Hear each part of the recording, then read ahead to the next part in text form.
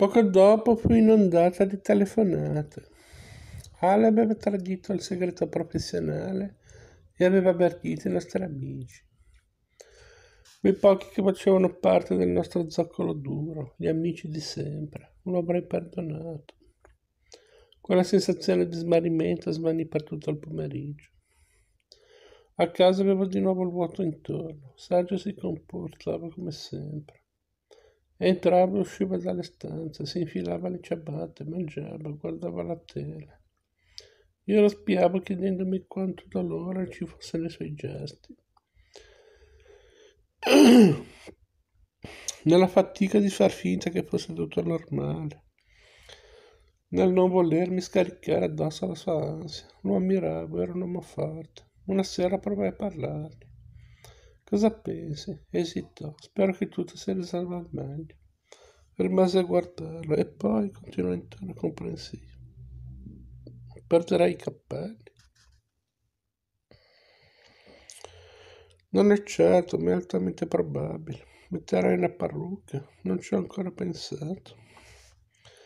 Meglio così magari poi non serve. Non dobbiamo fasciarci la testa prima di cadere. Non c'era niente da fasciare, c'era un carcinoma da togliere. Ne parlai con un'amica. Lei si arrabbia molto, ma poi una volta calmatasi avanzò la teoria del dolore soggettivo e che forse lui doveva ancora elaborare la notizia e allora riuscita a convincermi, perché a me serviva pensare che le cose stessero proprio così. Avevamo entrambi bisogno di tempo per abituarci a quello che ci stava capitando. Non sarebbe stato facile per nessuno.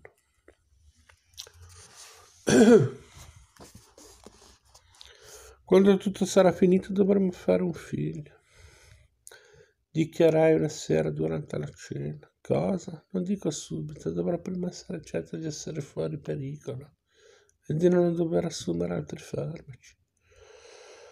Lui rimase zitto. Perché non parli? Cosa vuoi che dica? Quello che pensi. Da quando è iniziato tutto non ti ho mai sentito dire niente. Non ti lamenti, non sembri arrabbiato, triste o dubbioso. So che lo fai per me, per non addossarmi altri pesi. Ma se è importante bisogna sentire che siamo vicini. Questa è una prova dura se non, dovevamo, se non avevamo messo in conto Scusate, questa è una prova dura che non avevamo messo in conto, ma dobbiamo affrontarla insieme. Sergio si alzò da tavola, forse non amava parlare di figli, non provava la stessa mia sensazione, speranze e futuro. Allora continua a tacere, ma che cosa hai? Nulla, aspettiamo che ci diano i risultati prima di prendere decisioni importanti, mi freddò così. Rimasi lì tra i piatti sporchi le avanze della cena a darmi della stupida, parlare di figli quando non sai ancora se riuscire a sopravvivere al cancro. Forse aveva ragione lui.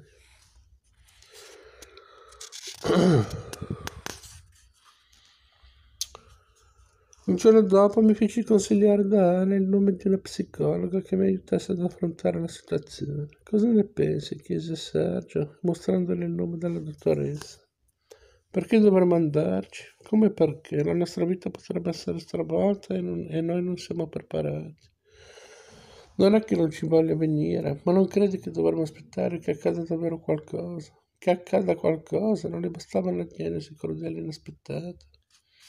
Mi sono seduta accanto a lui. Ho paura, mormorai. Lui non allungò un braccio dietro la mia schiena. Che andrà tutto meglio